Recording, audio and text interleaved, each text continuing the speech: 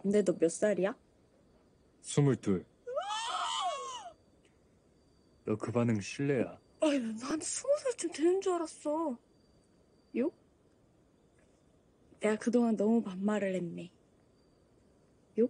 그럼 이제부터라도 존대해. 에이, 그건 아니.